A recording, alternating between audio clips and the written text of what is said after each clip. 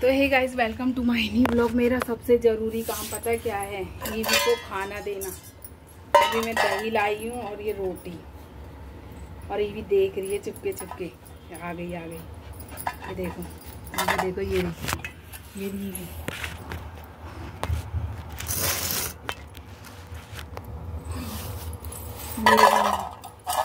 बैठ गई आराम से।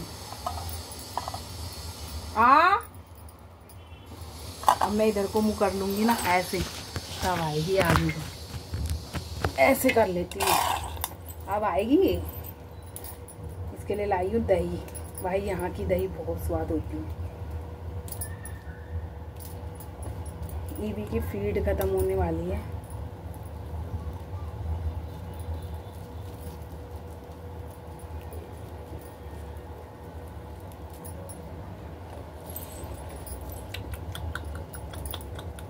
आएगी अपने आप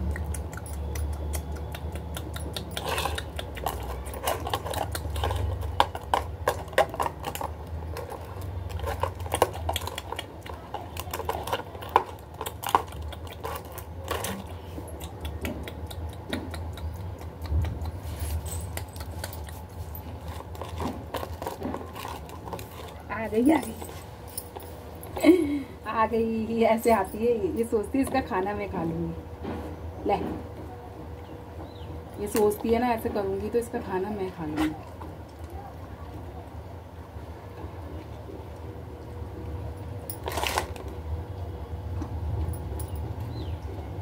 अभी मेरा पति आएँगे ना जब, वो भी लेकर आएँगे इसके लिए।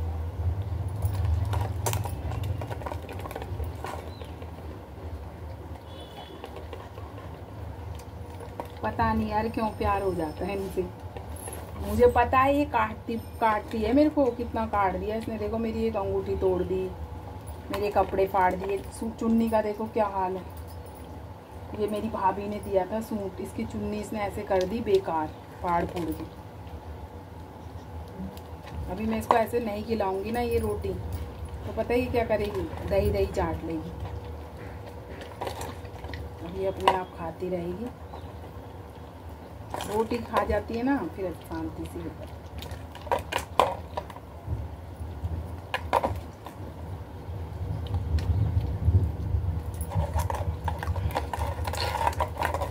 पता नहीं यार, हम तो हमने जब वो पहले जो गली के कुत्ते थे ना, वो पाले। उनमें से भाई भूरी नाम की एक कुतिया थी। गाली नहीं दे रही मैं मतलब बता रही हूँ कि भूरी नाम की जो मतलब फीमेल थी ना उधर फीमेल थी ना, उसके वो मेरे इधर कितनी बार प्रेग्नेंट हुई है। भाई से तो हम दूध दूध देते थे और और हमारे तो ये रिवाज है, जब बच्चे बच्चे को आटे का, आटे और गुड़ का हलवा बना के देते, जिससे कि भाई उसके पेट की सारी गंदगी निकल जाए। मैंने भूरी को वो बना के भी दिया था, लोहे की कढ़ाई में। और लेकिन डॉक्टर साहब पता क्या कह रहे थे? ये बेटा इधर आ जा, इधर आ जा, ऐसे कर ले। तो डॉक्टर साहब कहते कि दूध नहीं देते और हमने तो उस बूढ़ी को भाई दूध दिया था बहुत दूध दिया था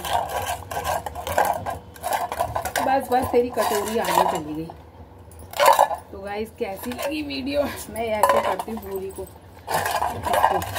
बाबू को बस हो गया हो गया